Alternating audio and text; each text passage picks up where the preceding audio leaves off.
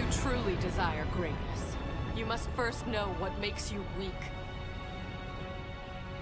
And more importantly, live with an open heart.